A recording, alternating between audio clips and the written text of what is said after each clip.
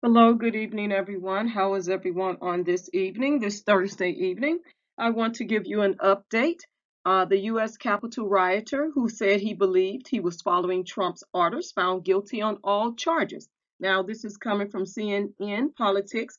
And so uh, he was one of the rioters, um, Dustin Thompson. He is a 38 year old exterminator from Ohio.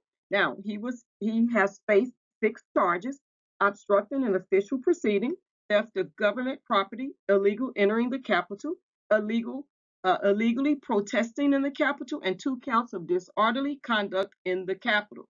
Now, uh, he believed, he claimed, he was following presidential orders when he stormed the U.S. Capitol and stole liquor and a coat rack. And he was convicted Thursday, which is today, on all charges by a jury in Washington, D.C. Now, um, after the verdict, the federal judge Reggie Walton blasted former President Donald Trump's conduct. Now, this is the first time that I've heard of a judge blasting Donald Trump's conduct, but he says uh, the insurgency and it was in effect. That is very troubling, Walton said. I think our democracy is in trouble because unfortunately we have uh, char- charlatans like the former president, in my view, who don't care about democracy and only care about power. Now, the trial marked the first time a Capitol riot defendant tried to convince a jury that Trump was responsible for the violence on January 6, 2021. Thompson's lawyer told the jury, excuse me,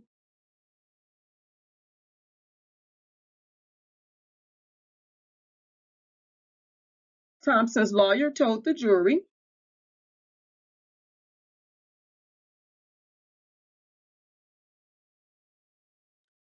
that uh, told the jury, excuse me, that Trump was an evil and sinister man who had incited the riot with his incendiary uh, speech at the Ellipse, where he told his supporters to march to the Capitol and fight like H-E-double-L hockey sticks. Now, Thompson had testified that he believed he was acting at the behest of Trump. Besides being ordered by the president to go to the Capitol, I don't know what I was thinking, Thompson told the jury Wednesday. I was caught up in the moment. If the president is giving you almost an order to do something, I felt obligated to do that, Thompson said.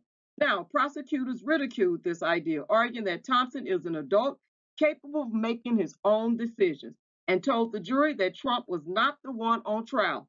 This is not President Trump's criminal trial, prosecutor William Dreher said Thursday.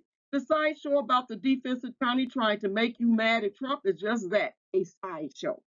One juror told CNN after the verdict that jurors only considered whether Thompson was a willing participant. The one thing that we were discussing was the willingness.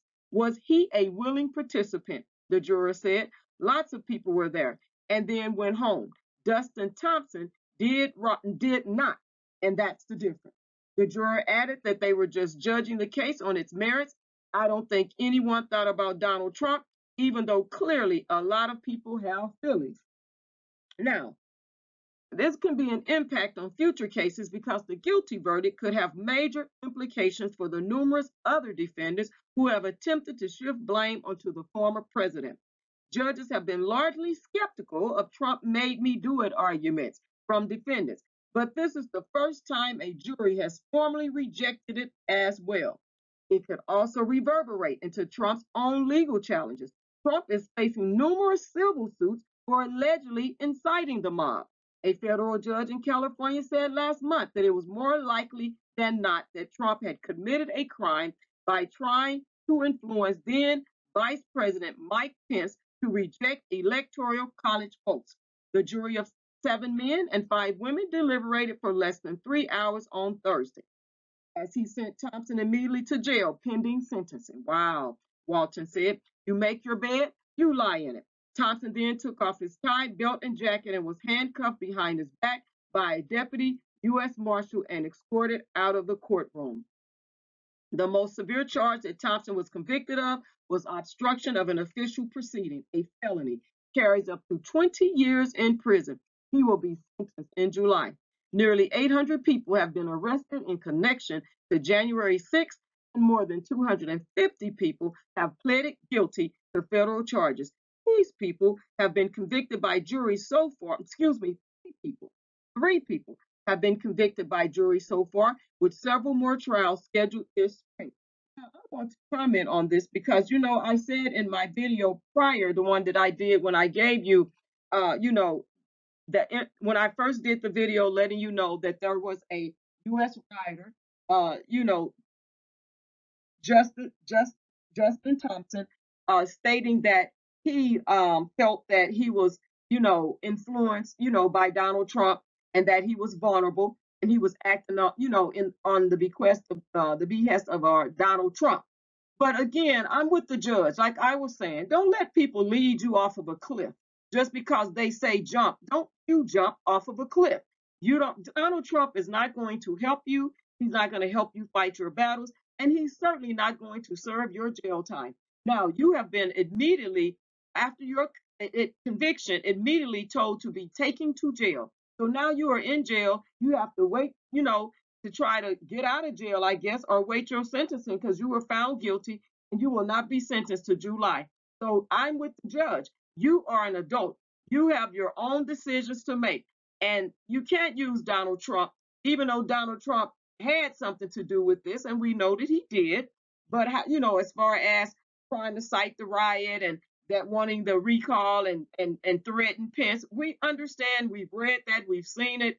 But however, you are still an adult and you should not have allowed yourself to get caught up in some matters of the heart because now you are going to have to search your heart and your soul because now you are facing jail time. And it's no joke facing this jail time. And you have lost your livelihood. You have lost a lot by going along with Donald Trump. So uh, at the end of the day, a lot of you people that felt that Donald Trump, that you were going along doing what Donald Trump wanted you to do, Donald Trump was looking for power. That's pretty much what he was looking for, in my opinion. And you going along with that, now look at your life. And Donald Trump is not going to be anywhere to be found near you. He probably will not come visit you in prison.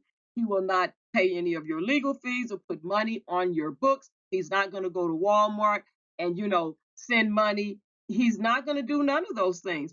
It's unfortunate that you listen to Donald Trump. So let this be a lesson to a lot of people. Stand on your principles and values. Do not allow people to lead you down the path of destruction because now look where you're at on the path of destruction, and this is going to stay with you forever and it doesn't say that he has children. He's 38, I believe, years of age. It doesn't say he has children or a family. And, uh, you know, if you have children, you know, um, unfortunately, you know, I'm sorry that your children will have to deal with this, you know, if you do have children, uh, Dustin. But however, let this be a valuable lesson to you. Do not allow people to lead you off of a cliff. You just can't do it. And uh, again, Donald Trump is not here to help anyone. Donald Trump is selfish. He is about himself when it comes down to what was going on with this election. You know, and some people may differ with me that voted for Donald Trump, you know, and I, I'm not saying one way or the other. I'm just saying, I'm just saying, at the end of the day, Donald Trump is not going to be spending somebody else's jail time. He's just not going to do that. And he is not going to step up to the plate to help you any way, anytime, any soon. And Donald Trump, uh, there's other things that's going on with Donald Trump, and even his daughter, they believe, allegedly testified against her own father when she went before uh, the grand jury or whatever they said they believe on Capitol Hill or wherever she was at. She testified against him.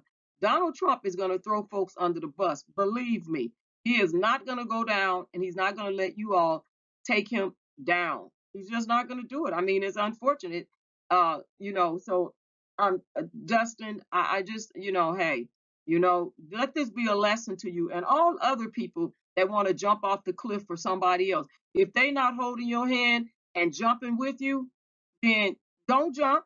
Tell them to jump, and you go on about your business and keep living your life the way that you should. Well, you guys leave your respect excuse me, respectful comments below. I truly appreciate you tuning in. And um, don't forget to Uh, please like, share, and subscribe to the channel. And copyright disclaimer under Section 107 of the Copyright Act 1976, allowance is made for fair use for purposes such as criticism, comment, news reporting, scholarship, and research. Fair use is a use permitted by copyright statute that might otherwise be infringing. Nonprofit, educational, or personal use tips the balance in favor of fair use. And my opinion doesn't necessarily to, uh, means that someone else's opinion supports mine. But however, you're more than welcome to tune in. You're more than welcome to put your respectful comments on the video, you know, but I'm just giving you updates on what it's saying and then my opinion. So God bless you all on this evening. Bye.